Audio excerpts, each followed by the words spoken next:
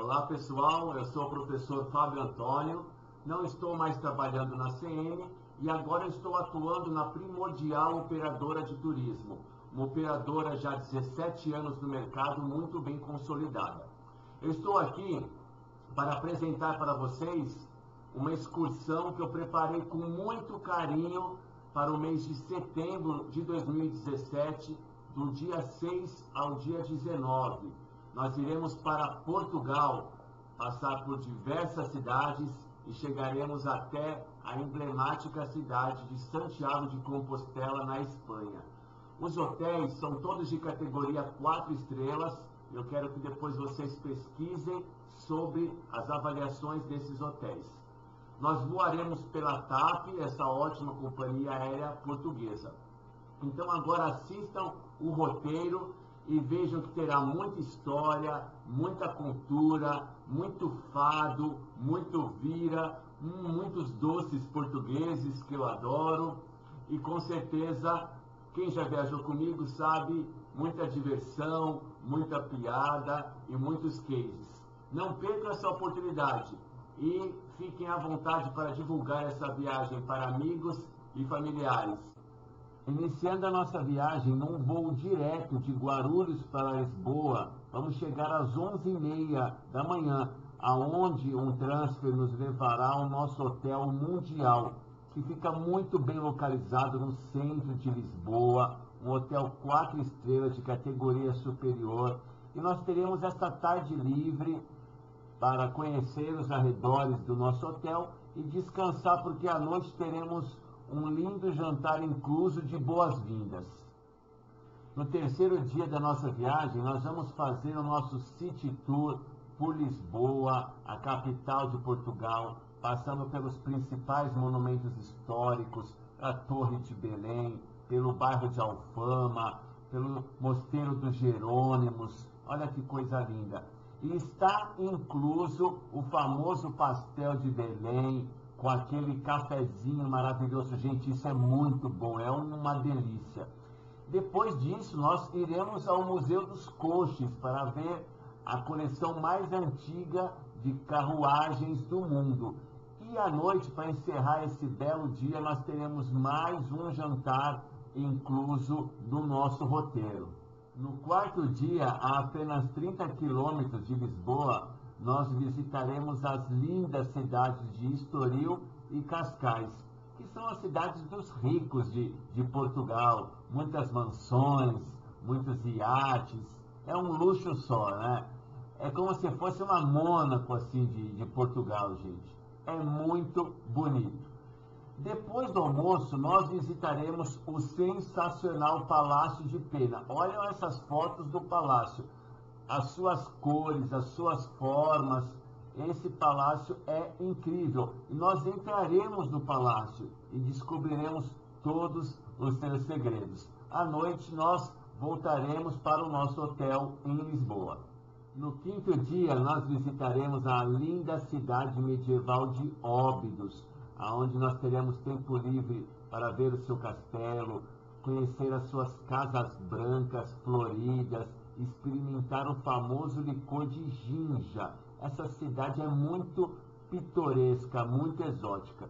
Depois no almoço nós retornaremos para Lisboa, onde nós teremos tarde e noite livre para ou andar de teleférico no Parque das Nações, a parte mais moderna de Lisboa, ou andar de bonde na sua parte mais antiga. Enfim, vamos nos despedir da capital portuguesa. No sexto dia, vamos visitar esse lindo e famoso mosteiro de batalha e todo o seu interior. Após o almoço, chegaremos em Fátima, um dos pontos máximos da nossa viagem. Visitaremos todo o seu santuário.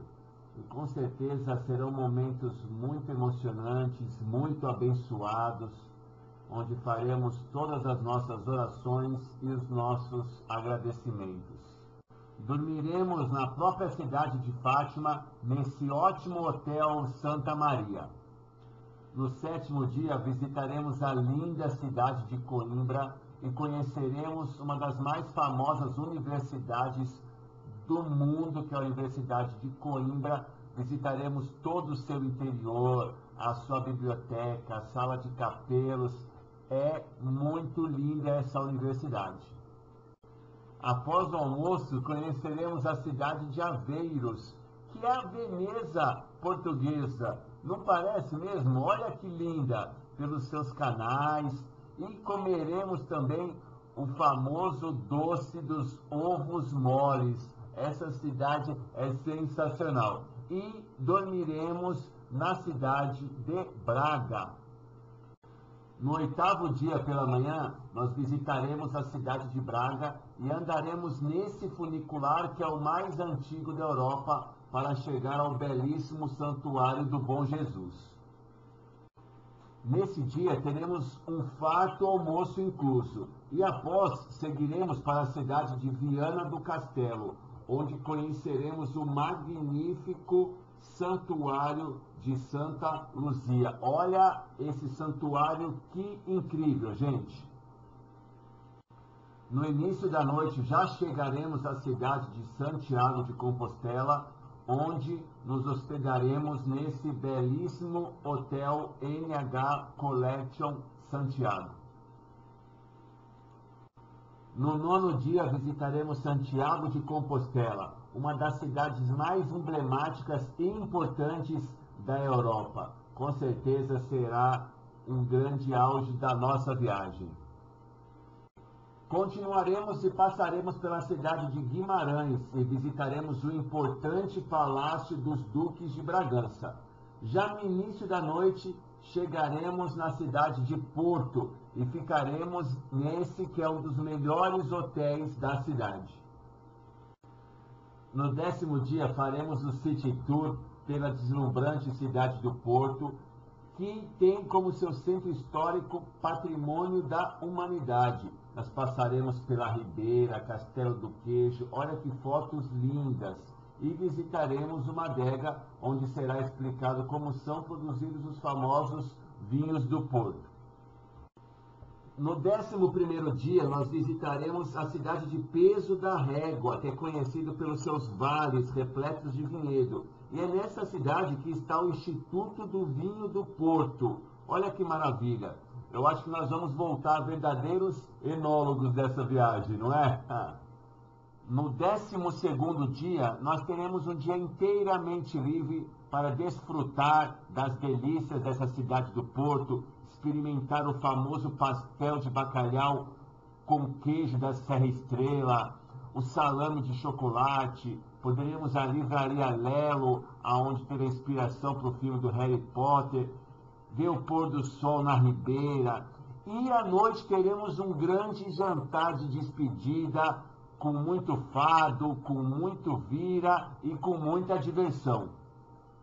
O 13 terceiro dia é o dia do nosso regresso ao Brasil. Porém, o nosso voo é somente às oito e meia da noite. Então, nós teremos o dia praticamente inteiro para comprar as últimas lembranças, os últimos presentes, e no 14 dia nós chegaremos pela manhã em São Paulo, em Guarulhos, sendo o fim dessa maravilhosa viagem. Tá lindo esse roteiro, né, gente? Passaremos por palácios, por castelos, por praias e por paisagens inesquecíveis. E as comidas, gente? Nossa, bacalhau, os vinhos, os doces, e o que é mais legal de Portugal é que nós nos sentimos em casa, porque a língua é a mesma. Então, não deixe de aproveitar a sua oportunidade. Chame seus amigos e seus familiares e vamos conhecer esse lindo país que é Portugal. Vamos viajar